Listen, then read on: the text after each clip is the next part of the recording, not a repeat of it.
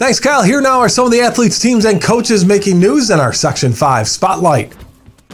Aquinas alum Earnest Edwards is continuing his pro football career, signing a contract with the Edmonton football team of the CFL, becoming the first AQ grad to play in that league.